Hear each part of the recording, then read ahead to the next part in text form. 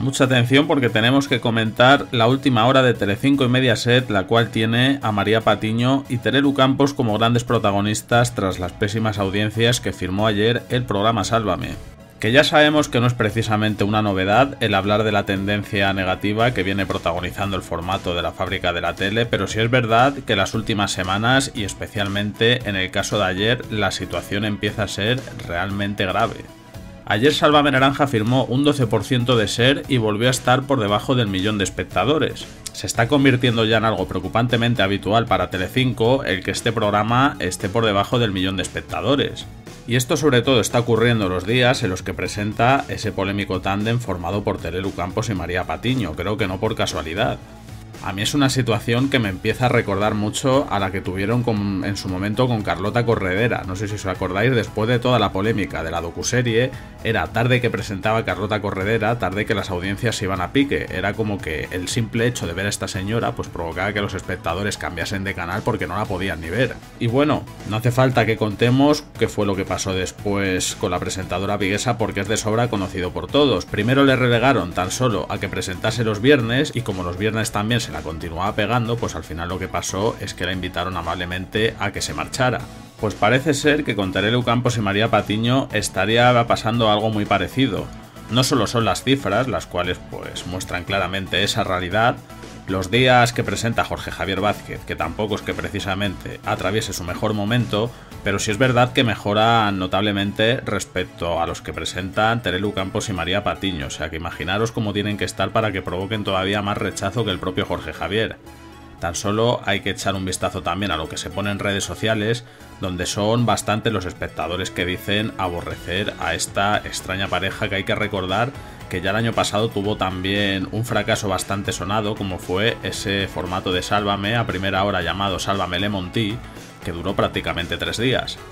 Es decir, que cuesta entender ese empeño que tienen en apostar tanto por Terelu Campos y María Patiño cuando ya ha quedado más que patente que la cosa no funciona. En el caso de Terelu Campos se ha dicho mucho que es una presentadora completamente obsoleta y que además pues digamos que no es ahora mismo un rostro amable que necesita un programa como Sálvame, sino más bien todo lo contrario. En el caso de María Patiño pues ya sabemos también que su credibilidad se encuentra bajo mínimos desde hace tiempo y que también tiene a la audiencia bastante saturada porque ya de por sí presenta bastantes programas, ninguno bueno por cierto, y a eso hay que sumarle pues esas ansias de protagonismo que tiene siempre, de querer destacar y que como digo provocan que el espectador acabe un poco hasta las narices de esta mujer.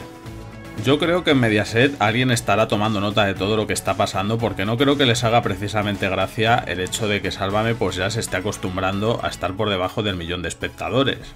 Y es que además a esta cuestión relacionada con los presentadores se le suma también otro problema que está resultando bastante gordo para el programa de Telecinco, que es en este caso la famosa lista de vetados de Mediaset. Porque en este sentido no podemos negar que también claramente hay un antes y un después. Desde que se prohibiera en ese programa hablar de determinados personajes que eran fundamentales para la actualidad, pues también la caída de espectadores ha sido notoria. Y de hecho, si todavía se salvan algo las cifras de la cadena, por un lado es por el efecto positivo que tiene siempre Supervivientes. Pero que no nos engañemos, el reality tiene que terminar algún día y entonces sí, que vendrán las vacas flacas. Y luego por otro lado llama también mucho la atención que Sálvame ni siquiera esté consiguiendo aprovechar el tirón que tiene un tema tan gordo como ha sido el de esta exclusiva que la semana pasada protagonizó Ana Obregón. Ya estuvimos comentando en un vídeo anterior como ayer en Sálvame durante casi toda la tarde se pasaron hablando de lo mismo y parece que ya ni con esas consiguen enganchar a los espectadores. Bien es cierto que hay que reconocer en este sentido que lo poco gusta y lo mucho cansa, porque ya también daba la sensación de que estaban un poco dándole vueltas al mismo tema sin aportar gran novedad y lo poco que parecía que aportaban pues en realidad se lo inventaban más que otra cosa. Se nota mucho la escasez de contenidos. Así que como digo, el tema de los vetados está siendo demoledor para Sálvame, podríamos decir que está siendo su estocada final. Y por si todo ello fuera poco, se están sumando nuevos nombres como los dos que ayer destapaba Diego Arrabal en su canal de YouTube. Según el ex colaborador de Viva la Vida, a partir de ahora en Mediaset tampoco se podrá hablar ni de Bigote Arrocet ni tampoco de María del Monte que es una cosa que en cualquier caso llama bastante la atención porque tampoco estamos hablando precisamente de personajes de los que se hablase ni mucho menos todos los días en programas de esa cadena, sino más bien todo lo contrario.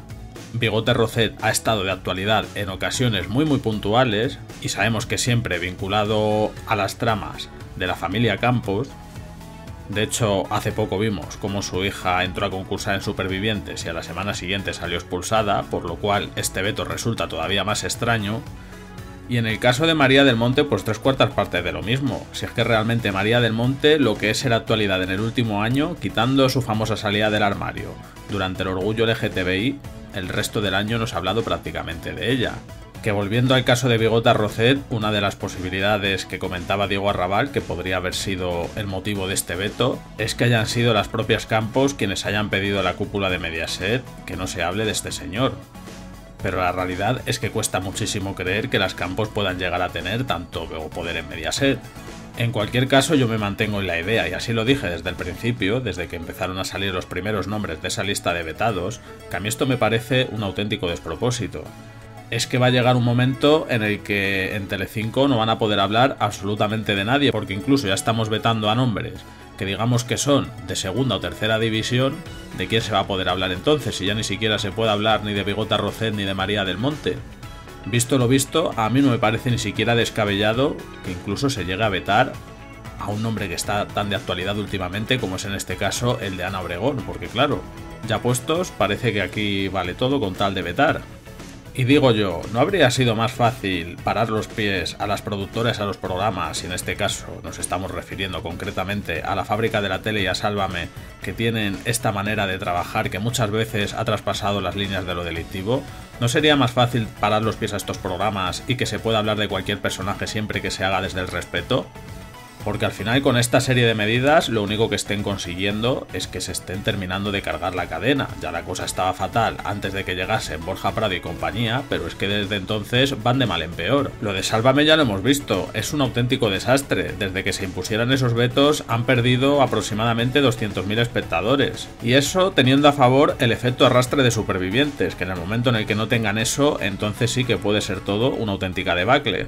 Así que vamos a ver qué pasa. Yo de momento me aventuraría a vaticinar que muy pronto, quizás esta misma tarde, vamos a ver cómo en Sálvame vuelven a reactivar el plan habitual cada vez que las audiencias están bajo mínimos y no tienen contenido del que hablar que funcione. Y ese plan no es otro que el de empezar a sacar otra vez la porquería y las miserias de sus propios colaboradores y se empiecen a matar entre ellos, tipo pues por ejemplo como lo que ha pasado con Belén Ro en los últimos meses. A ese tipo de tramas me refiero. Pero vamos, en cualquier caso, dudo que esto también pueda servir para arreglar nada. Al final aquí lo que está comprobadísimo de sobre estas alturas es que el tiempo pasa y que las audiencias de este programa, que está condenado a desaparecer, lejos de ir a mejor, pues van de mal en peor. ¿O qué pensáis vosotros de todo esto y de todo lo que hemos comentado? Sea cual sea vuestra opinión, no dudéis en comentar, dar like y suscribiros activando la campanita.